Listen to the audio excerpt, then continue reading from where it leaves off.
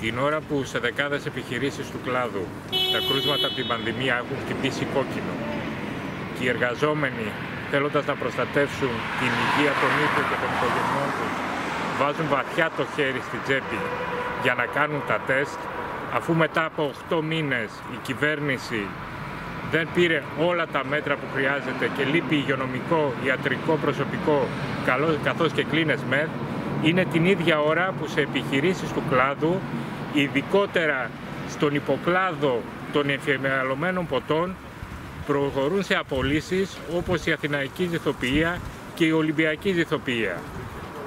Αυτό μας δείχνει το μέλλον που σχεδιάζουν για εμάς τους εργαζόμενους.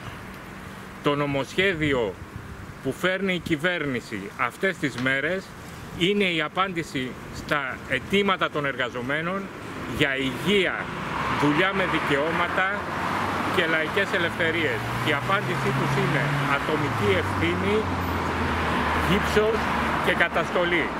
Καλούμε όλους τους εργαζόμενους του κλάδου να συμμετέχουν μαζικά στην απεργία στις 26 Νοέμβρη.